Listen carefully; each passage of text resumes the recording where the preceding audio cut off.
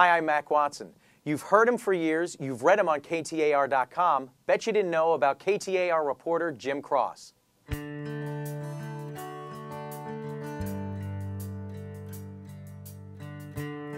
First wildfire was in 1988 in Idaho. It was a huge fire, hundreds of thousands of acres in Hell's Canyon. Uh, it was called the Eagle Bar Fire.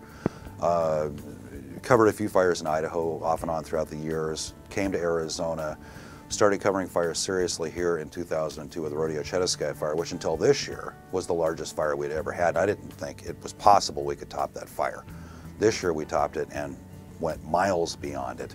Uh, firefighters, the thing I'll take away from the Wallow fire is amazing job to not lose more homes than they did and possibly not have entire cities taken off the map. You had more people evacuated in the rodeo fire, more homes destroyed, but these firefighters really did a good job to save Alpine and Greer specifically.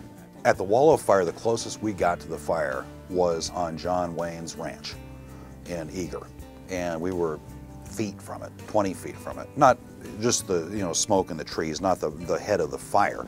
At the rodeo fire, the thing I'll always remember is there was a Sunday afternoon where the fire had started closing in on Show Low.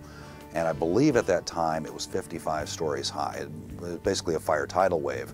Um, they had already evacuated Show Low and were trying to figure out what they were going to do with the media if the fire reached Show Low, And it, it didn't make it in, but it got very, very close. And I've covered fires and it's not, from a reporting standpoint, I haven't been frightened often.